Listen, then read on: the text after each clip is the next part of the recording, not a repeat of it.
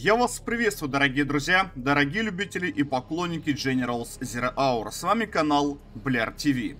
Прежде чем мы продолжим смотреть на этот очень интересный реплей, у меня есть к вам небольшая просьба оставить свой комментарий. Конечно же, досмотрите ролик до конца, а также ставьте лайк и подписывайтесь на канал. И самое главное помнить, только благодаря вам нас становится больше и наша любимая игра становится популярнее.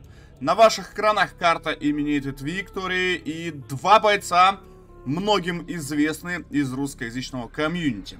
За класс секретные войска под синим цветом играет Драк, зовут его Антон, из Тульской области. Его соперником будет Сергей Шедебро, оранжевый цвет, Китай пехота, боец из Московской области. Оба игрока, как я понимаю, в принципе, очень часто, часто проводят времени за PvP, играют друг с другом. Шедебро является э, таким средним semi-прошником. Но а вот у Драга судьба, знаете, я бы, наверное, даже сказал несколько поинтереснее. Потому что боец, который сейчас играет за стелс, он особо не блистает каким-то мега-скиллом на данный момент. Но раньше Драг был игроком про лиги, вы только представьте. Просто он ушел в армию, пришел с армии и пока, ну, может быть, не уделяет просто того времени, которое он уделял раньше. Потому что Драк стал играть, э, скажем так, опыт есть, но все же, все же раньше он как-то блистал намного лучше. Что ж, э, разбегаются здесь подрывники, хорошие бункера, миниганеры, причем справа вылавливается стелс на ран, ну и классика, два саплая, военный завод, там даже рабочий, кстати, сел в техничку. Что касается инфантри, инфантри будет терять дозеры. Да, стелс начинает дозер хан, дозеры уматывают. Э, второй справа, здесь подрывник достаточно опасно. Ну и, кстати, что один боец, что другой боец уже неоднократно появлялись, естественно, в топ-реплеях. У нас даже с Драгом бывает э, скажем так, свои очные противостояния, потому что мы с Драгом один на один очень много сыграли, в том числе шоу-матчи. Даже как-то играли э, очень интересные поединки там на небольшие суммы, поэтому... С Антохой у меня тоже есть история противостояния. Но я смотрю, что он, в принципе, набирает в последнее время. И скоро я до него не достану. Э, стоит все еще одинокий подрывник. Но вот дозер, сладкий дозер ставит центр пропаганды. Uh, Убер-техничка есть. Что самое важное, есть Убер-теч у стелса, если он еще ее не потерял. Но я думаю, что не должен uh, в норку Убер-теч-то загонялась. Вперед пошли посты. Неужели Шедебро сообразит контратаку? Да! Вот она, Убер-теч. Еще и пригодился подрывник. Минусуется казарма. Дозер охраняется бункером, но все-таки здесь есть место заехать. Понимает Сергей это прекрасно и начинает отъезжать. Пошел пост, но поможет ли здесь пост? Все-таки очень сильная группа, да. Если бы пост был полностью наполненный. Но стелс готов ли принимать на базе? Проходит... Эм, эти, этот жесткий, уже просто надоело называть э, слово пост, как еще можно назвать. Наверное, крутой радар, самый крутой радар игры General Zero. Да, и Дозер Хант, ребят. Дозер Хант, причем Убертеч не выживает. Ах, как обидно, Шедебро, и ведь справился, справился с ней, но остается у Инфантри последние три здания. На этом, друзья, ничего не заканчивается. Ну, не, ну, не бывает просто такого, чтобы мы э, вот так просто показали игру, где Инфантри сольется на раз-два. Конечно, будет продолжать Сергей сражаться. Да, Драк только ушел во второй военный завод, вот тут же сожгли. Кваты все разматываются, дракон проходит под военный завод. А, пока еще не производили захваты выше, хотя стелс мог бы, но у стелса такие великолепные позиции.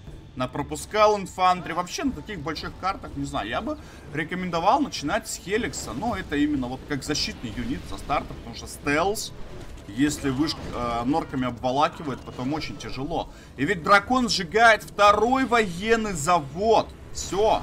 Драк больше не сможет спамить, но вот Антон как раз-таки размещает военный завод уже на левых позициях. Денег ему хватает, Шедебро денег тоже хватает. Есть электростанция, здесь военный завод, просто спам, спам еще раз спам. Да, идет поддержка, кстати, в центре сопла есть. Идет поддержка постов. будут сносить центральный саплай и, скорее всего, передвигаться на вот левый фланг. Но у Драга, э, пока из фальшивого завода делается настоящий, нужно на это время. Э, поехала техничка. Кстати, новая убертечь. Вау. Где же их так э, Антоха успевает э, насобирать? Неужели уничтоженных постов? Ну, посмотрите, сохраняет военный завод Сергей. Просто великолепно. Он сумел это сделать, он задефал. И здесь, конечно, вопрос контроля стелса. Э, центральные позиции, ну, будут уничтожаться. Да, нужно постами идти дальше. Э, сейчас есть намного важнее позиции. Нужно утилизировать военный завод. Драк застраивается норками и спамить начинает квады. Убивается казарма, но, по крайней мере, не будет э, угонщиков. Э, если сообразит пойти дракон. С драконами работает. Шедебро, ракетчики сейчас идут на убой. Скорее всего, посылались добить военный завод. Но не все так просто. Может Шедебро спокойно спамить теперь дракона. Угонщиков не бояться. Ну, столько много норок. Ставится новая казарма. Кваду уже начинает помогать. Опять же, очень много ракетчиков. Это залог. Это залог успеха против инфантри. Скрывать посты. Драконы пошли вперед, э, левый фланг не очищается, правый также. Ну, про правый, наверное, забыл, а драк-то захват сделал. Вышка справа захвачена. Может быть, не совсем своевременно, но сейчас это э, достаточно устанет. Стелта, который, если потерять саплай, у него деньги останутся. Шикарный дракон, ну и, э, кстати, вот сейчас Антон даже демонстрирует очень неплохой контроль. Высаживает, засаживает в глашное метро. Да, ну и драконы просто на прорыв. На прорыв с поддержкой пехоты. И мне кажется, здесь инфантри добивается успеха все-таки. Пробивая очень много нор, позиций. Хотя пока непонятно. Нужно, конечно, идти сжигать военный завод. Ну, хотя бы саплай для начала. Тоже не помешает. Добавление какое-то будет. Контратак нету. Военный завод живет, по сути, по сути, даже стелс мог бы пойти просто в размены. У него шикарные позиции для размена. Справа казарма есть, слева норки есть.